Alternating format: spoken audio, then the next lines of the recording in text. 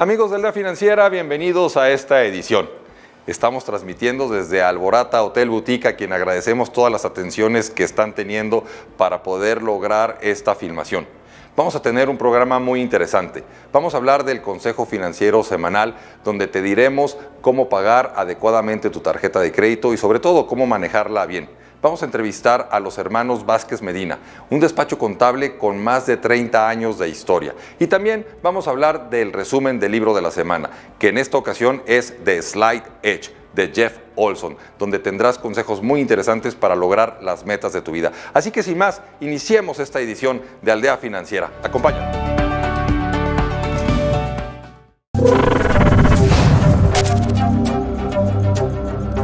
Bueno amigos de Aldea Financiera, estamos en el Consejo Financiero de la Semana y el día de hoy vamos a hablar de cuál es la mejor tarjeta de crédito. Y sabes, no te voy a decir cuál es la que tiene menor tasa de interés, cuál es la que te da menores comisiones, cuál es la que te da mejores beneficios. Simplemente te voy a decir lo siguiente, la mejor tarjeta de crédito es aquella que no tienes que pagar. En otras palabras, mi sugerencia el día de hoy es que no le debas a tu tarjeta. Sin embargo, si ya le debes a tu tarjeta y quieres salir de esa deuda, te voy a enseñar cómo hacerle. Lo primero que tienes que hacer es identificar cuál es la deuda más pequeñita que tienes, de tal manera que puedas liquidar esa tarjeta y enfoques todos tus esfuerzos a liquidar esa tarjeta que tienes. De manera que una vez que la hayas terminado de pagar, la liquidez que estás usando para esa tarjeta la puedas tomar y dedicarla a la segunda tarjeta más grande que tengas, de forma tal que vayas dando estos pasos, liquidando así tus deudas hasta eliminarlas por completo y que de plano te pongas la meta de no volverlas a usar. Ahora bien, ¿Cuál es la manera correcta de usar una tarjeta de crédito? Es relativamente sencillo. Lo primero que tienes que hacer es pagarla en su totalidad, ser lo que le llaman totalero. Una vez que hayas liquidado tu tarjeta vas a tener crédito gratis y además vas a tener un plazo de cerca de 45 días entre que haces una compra de algún bien o servicio que necesitabas y la liquidación de tu tarjeta. De esa manera la vas a utilizar de una forma inteligente sin que te cuesten intereses excesivos y de una forma que puedas organizar mejor tus finanzas, ganándote puntos en las tarjetas que después puedas usar para comprar algunas otras cosas o viajes o estancias en en fin. Esa es la manera inteligente para usar tu tarjeta de crédito. Ojalá que estos tips te hayan servido, ojalá que sean de tu utilidad. Mándanos más comentarios aquí en Aldea Financiera para que podamos hablar de los temas que te interesan y vamos a continuar con el contenido con una entrevista muy interesante en esta edición. Amigos del Día Financiera, estamos en la sección con tendencia positiva y el día de hoy tenemos una entrevista muy muy especial. Me complace decir que nos acompaña en su 30 aniversario el despacho Hermanos Vázquez Medina, contadores públicos. Y les doy la bienvenida a los fundadores y directivos principales de esta firma. Y nos acompaña el día de hoy Rosa María Vázquez. Hola, profesor. Bienvenido. Aquí estamos, gracias. Por bienvenida, Rosa María, qué gusto tenerle. Rubén Vázquez, bienvenido. Roberto, un placer. Gracias por la invitación. Al contrario, Ricardo Vázquez, bienvenido a la Financiera. Y por supuesto, Francisco Rodríguez, bienvenido a Aldea Financiera. Gracias, Roberto. Pues estamos de plácemes el día de hoy porque es una firma 100% jalisciense, 100% mexicana, que está cumpliendo 30 años de historia y que nos van a compartir cómo han llegado hasta este momento. Y me gustaría empezar preguntándote, Rubén, si me lo permites, un poquito cómo inicia el despacho, cuál es su historia y cómo ha ido evolucionando. Gracias, Roberto. Fíjate, eh, nosotros somos originarios de Cocula, Jalisco. Este, ahí, antes de venirnos, nos venimos a estudiar contaduría pública. Quiero comentarte que mi hermana Rosa María empezó estudiando medicina. Ah, muy bien. Y lo que son las vidas, ¿no? Digo, en eso muere mi papá. Y pues tenía que, ahora sí que en la carrera de medicina tenía que, que digo, en medicina, pues este, dice, tengo que trabajar. Claro. Entonces, pues una carrera donde se pueda. Y se cambió a contaduría. Entonces entramos juntos toda la carrera. Sí. Y desde ahí sentimos, Roberto. ¿Fueron compañeros sí, de hecho salimos, salimos al. Eso permitió, eh, esa decisión que tomé en su momento de salirme de mi primer año de medicina, cuando muere nuestro papá, Este, y pues había que ayudar a, yo soy la mayor de la familia, permíteme decirlo, que soy la mayor de, de todos mis hermanos. Nada más en ese programa lo digo, ¿eh? No, generalmente no lo digo. Y, y, fue que mi hermano, ¿por qué no hicieron mi alcanza? Hicimos juntos toda la carrera. Qué bonito, qué buena, qué, sí, y, y, y, bueno, pues, en la noche, trabajando de 7 de la noche a, a, a 10.45.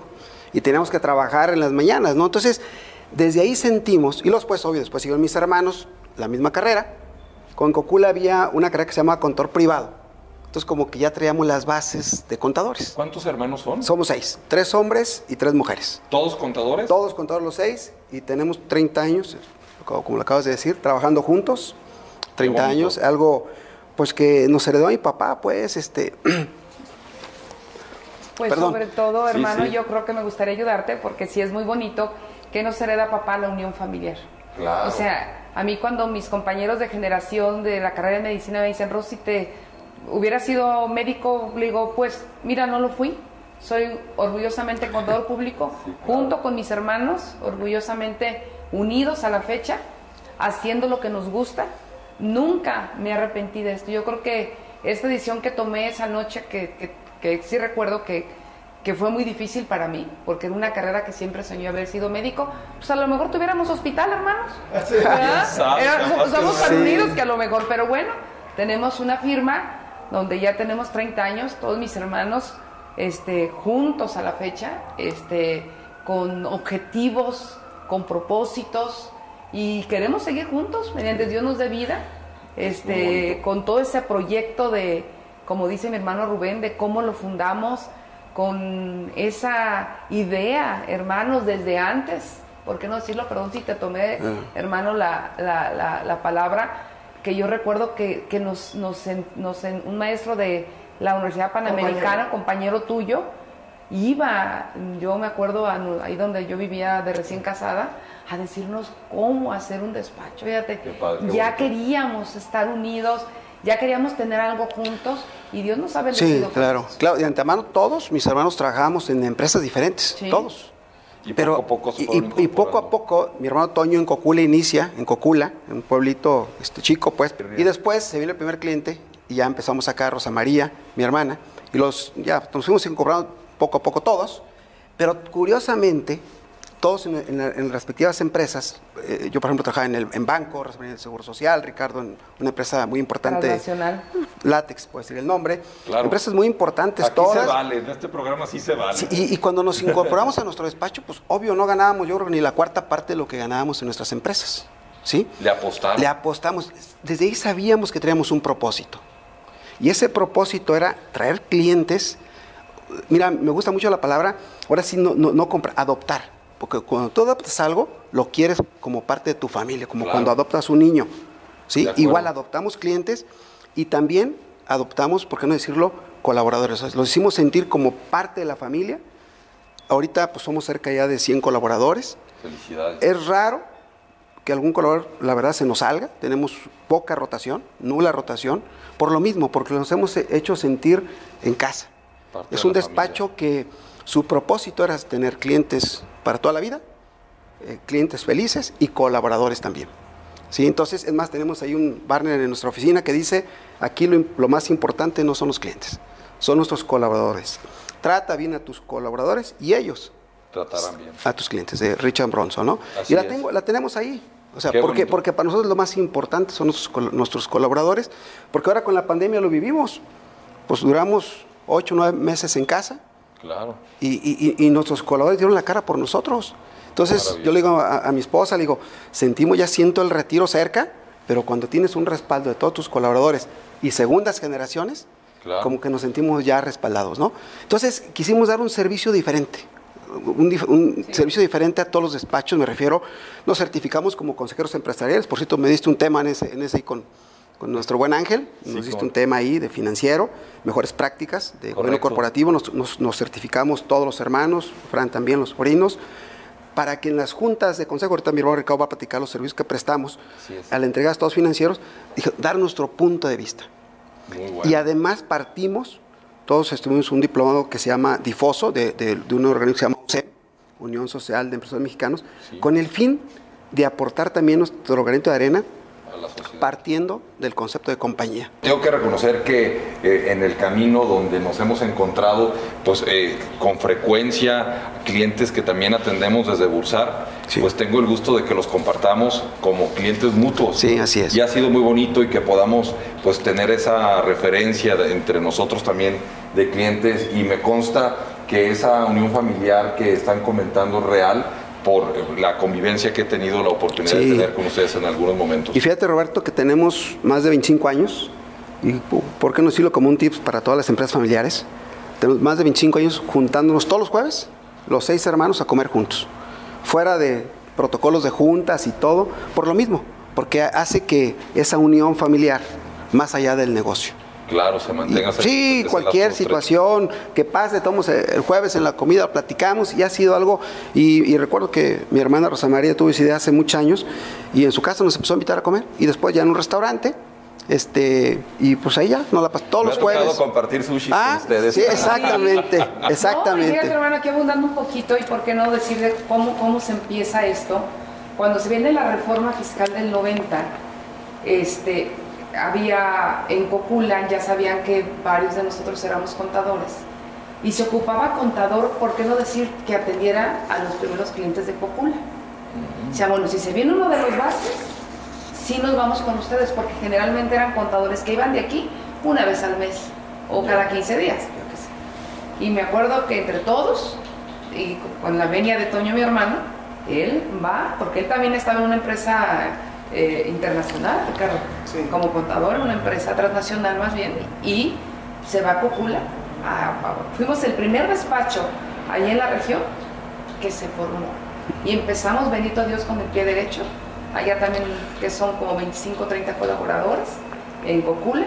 Aquí somos como 60 y tantos, entonces ya entre los dos, que somos uno solo, pero sí andamos cerca de los 80, 100 colaboradores y, lo, y, lo, padre de esto, que Antonio inicia, y pues ahí continuó él, a la fecha.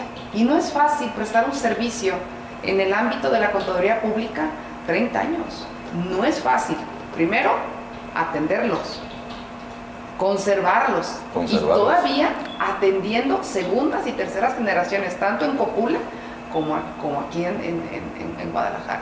Entonces ha sido una satisfacción muy bonita, se les puedo decir con todo el, orgullo por ser, tener estos hermanos y tener pues nuestra parte, nuestro primer integrante de la segunda, generación, que ojalá sí sigan, porque definitivamente que sí se puede, sí se puede prestar un servicio con calidad, con profesionalismo, pero sobre todo con humanidad a nuestro cliente. Muchas Cuando me invitaban en el TEC, en la UP, en la Universidad de Guadalajara, a dar, a dar charla a los jóvenes de contaduría pública porque se les estaba bajando la matrícula. Yo les decía, yo a pesar ya de mi edad, soy de los contadores públicos este, no aburridos, del contador público que lleva buenas prácticas, del contador público que no nada más se dedica a cumplimiento tributario, sino que da un consejo más allá. Y eso creo, hermano, que nos ha distinguido.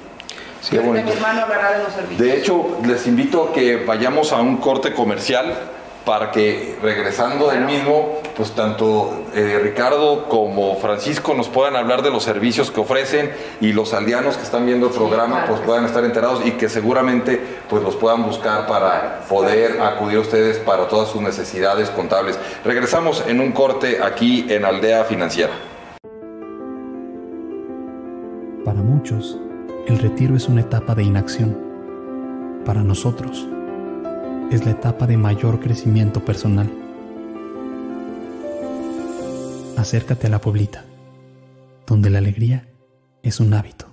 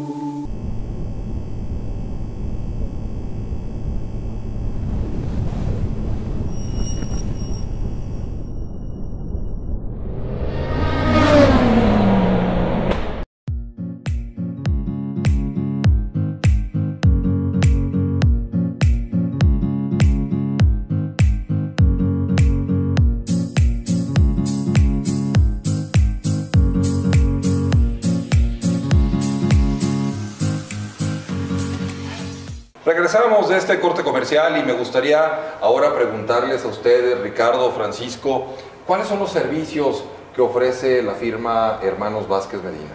Gracias Roberto. Mira, 30 años, habla de 30 años de madurez, de aprendizaje y de crecimiento con nuestros clientes.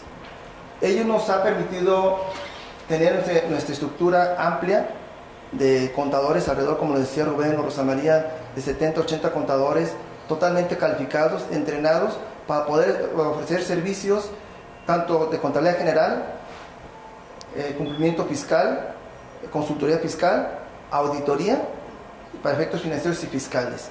Aprovechando hoy en día toda la, toda la, tecnología eh, cibernética que nos ofrece el mundo, pero con aquellas que seguridad, salvaguardando, salvaguardando la, la, información que nos permite estar en casa con el cliente. Para ello, una de las cosas que decía Rubén y Rosa María era, el, nuestro objetivo era servir y dar más allá, un poco más de lo que nos fuimos contratados. Estar totalmente comunicados con ellos. Estamos totalmente comunicados, estructurados internamente, pero además estamos comunicados externamente con nuestros clientes, analizando estados financieros para poder descubrir todas aquellas deficiencias o riesgos que tienen para poderlos crear de ellos una fortaleza o una oportunidad para poder rescatar a ese cliente y no ser meramente nada más pagador de impuestos. De acuerdo, qué importante. Sí, fíjate que porque si nos dedicamos a calcular impuestos y pagarlos, a veces el cliente se, se, se, se cansa. Entonces nosotros hemos, Rubén nos, dicho, nos ha dicho, tenemos que tener ese acercamiento juntas con sus clientes, decirles, abrir cada cuenta del balance, que hay en deudores, que hay en acreedores, qué estamos vendiendo, de repente estamos vendiendo mucho, pero nuestra liquidez nos está, nos está, asfixiando porque estamos malos para cobrar. Correcto. Sin embargo, nos estamos apalancando mucho. Pero cuando esto lo dices muy oportunamente, el cliente te lo agradece mucho y toma las acciones que debe de, que debe de tomar. Totalmente. Insisto, hay un equipo, hay quien hace, quien procesa, quien revisa en todos los niveles y obviamente conectar todo este, todo este trabajo en resultados hacia nuestros clientes, que ellos conozcan ese esfuerzo que estamos haciendo para el bien de, de nuestros propios clientes o de nuestras propias empresas, porque así los vemos a ellos. De acuerdo. Hay clientes que tenemos 30 años con ellos, hemos crecido con ellos, nos ven de casa, no dan un paso, sino nos consultan y eso nos halaga mucho porque no somos el contador, perdón, como decía Rosa María, la palabra tedioso que está en un escritorio, no, vamos más allá. Aumentamos nuestra gama de servicios, eso, eso es sumamente importante. Y Frank, para aquellas personas que están viendo el programa y que quisieran acercarse a ustedes, ¿cómo pueden hacer contacto? Eh, seguramente esta entrevista la están viendo muchas personas que dirán, oye, yo quisiera un despacho como el que ustedes tienen. ¿Qué pueden hacer para contactarlos? Claro que sí, Roberto. Bueno, y, más allá de, lo que estamos platicando en, en este momento, seguramente por ahí han visto los tips fiscales que en ese sentido, con, todo gusto los hemos hecho. Mira, Roberto, lo principal, bueno, es, eh, que detecte la, empresa la necesidad que tiene de, contratar un servicio de calidad, ¿no? Eso, eso es primordial. Cuando una persona o un cliente llega con nosotros al despacho, nosotros lo primero que hacemos es hacer un diagnóstico de cómo viene ese cliente, ¿no? Y es un diagnóstico totalmente gratuito que le hacemos a esa persona, a esa empresa, para detectar qué, eh, qué, le duele, ¿no? Cuando, cuando uno va al médico, va y le hacen un, análisis también para ver pues, dónde está uno mal, ¿no? Entonces nosotros como contadores también hacemos ese diagnóstico para analizar pues dónde está flaqueando la empresa, ¿sí? Y en dónde podemos ayudar de entrada, ¿no? De entrada. Ya posteriormente a ello, bueno, pues es ahora sí la comunicación. Fíjate, Roberto, que muchas veces eh, nuestros clientes cuando llegan con nosotros nos dicen, oye, ¿sabes qué? Pues vengo contigo principalmente por un tema de comunicación. El, contador anterior, pues no, de alguna manera, pues no lo sentía cerca, este, una consulta, pues, no, sentía ese acercamiento del contador. Y en ese sentido nosotros tenemos una comunicación muy estrecha con nuestros clientes, de manera que eso pues es una queja totalmente nula, ¿no? O sea, en el tema de comunicación hacemos eh, grupos de WhatsApp con nuestros clientes, ¿por qué no decirlo? Donde estamos asignados cerca de cuatro personas por cliente, ¿sí? Donde le, damos atención eh, constante para que se sientan atendidos principalmente. No lo decía ya aquí mi tío Ricardo hace un momento, es, es una atención de calidad, sí, no solamente de pagar, de pagar impuestos, sino de eh, ir más allá y darle ese consejo de calidad eh, al cliente que lo necesita. Un maestro nos decía en la universidad, oye, la contabilidad de nada sirve si no tomamos decisiones con los números, ¿no? y para eso precisamente hacemos que nuestros clientes tomen decisiones con la cabeza fría, viendo los números. ¿no? Totalmente de acuerdo. Pues de verdad muchas felicidades por un despacho tan bonito, por una historia tan interesante, tan trascendente, de ayudar a tantas empresas en un estado como Jalisco, pero yo sé que no solo en Jalisco, sino a nivel nacional han tenido clientes y tienen clientes. Eh, pues de verdad me da mucho gusto y un orgullo poderlos haber eh, entrevistado aquí en Aldea Financiera. Esperamos que pronto puedan regresar y seguirnos platicando más tips fiscales, con más cosas que tanto le hacen falta a la gente. De verdad, este, muchas gracias, muy agradecido porque estuvieran aquí hemos llegado al final de la entrevista, pero seguramente, eh, bueno, aquí en la pantalla aparecerán sus datos de contacto para que la gente pueda eh, llamarles, pueda mandarles un correo y bueno, pues que puedan darle ese servicio de calidad, como lo ha manifestado, a todos los aldeanos que así se interesen por ello. De verdad, muchas gracias, muchas felicidades. Gracias, gracias Continuamos con más contenido aquí en Aldea Financiera. Gracias. Gracias. El retiro es el tiempo para hacer lo que tú quieras, cuando quieras, donde quieras y como tú lo quieras hacer.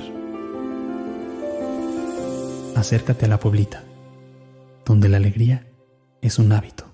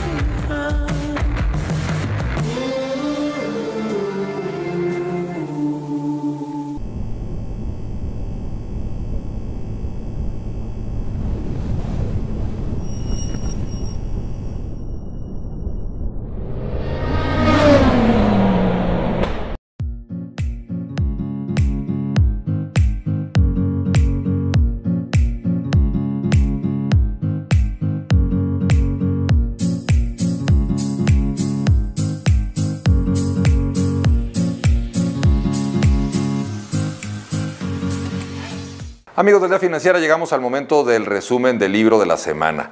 Y en esta ocasión traemos un autor que verdaderamente generó un cambio en la manera de ver muchas cosas en la vida de un servidor. Se llama Jeff Olson y escribió un libro que se llama La pequeña diferencia, The Slight Edge, por su nombre en inglés. Jeff Olson fue un estudiante relativamente mediocre en la universidad un día, después de llevar una vida de hippie, despertó en una playa. Imagínate la escena, no se despertó y dijo, ¿dónde está el norte, dónde está el sur y qué hago yo en esta playa?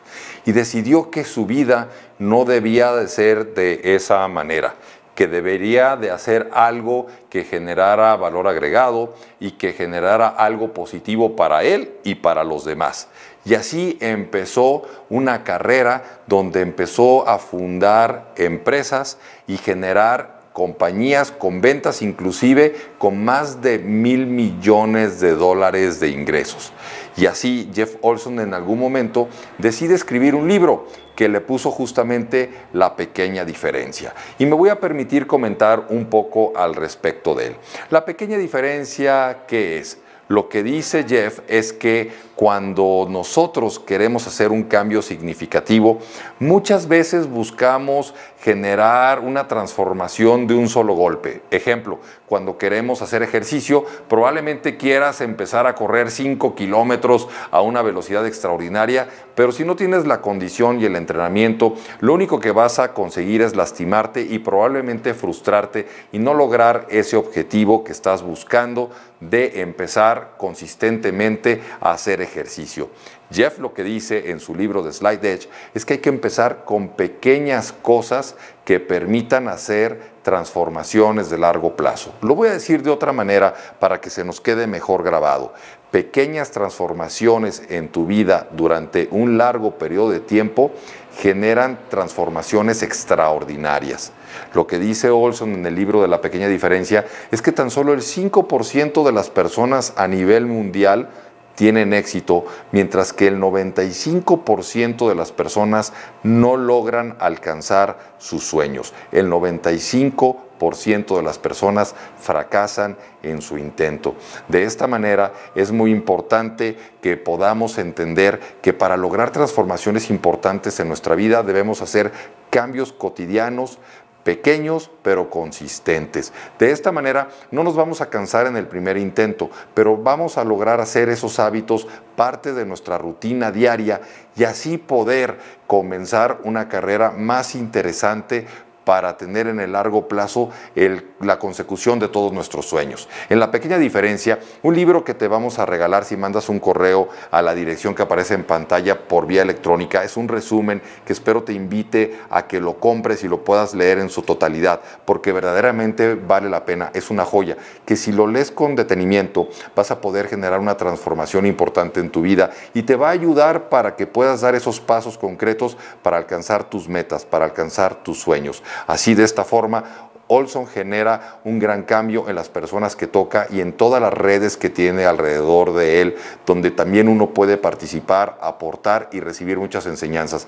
Espero que este libro haya sido de tu agrado. A mí en lo personal me gustó muchísimo, es uno de mis favoritos y bueno, te lo vamos a regalar un resumen de él si nos mandas un correo a la dirección que aparece en pantalla. Por lo pronto, te agradezco y continuamos con más contenidos aquí en Aldea Financiera.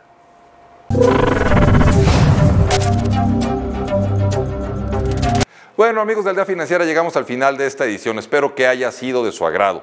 Entrevistamos a los hermanos Vázquez Medina con un despacho contable con más de 30 años de historia. Espero que les haya gustado esas anécdotas tan interesantes que nos compartieron. También hablamos del resumen del libro de la semana, el libro de Slide Edge que lo escribió Jeff Olson. Ya sabes, envíanos un correo y te mandaremos un resumen para que puedas disfrutarlo. Y también tuvimos el Consejo Financiero Semanal, donde hablamos de cómo pagar tu tarjeta de crédito y cómo manejarla correctamente. Te esperamos la próxima edición con más contenidos, con más información, con más consejos y sobre todo entrevistas muy interesantes. Y bueno, me despido en esta ocasión, no sin antes desearte que tengas un día, ya lo sabes tú, con tendencia positiva. Hasta la próxima.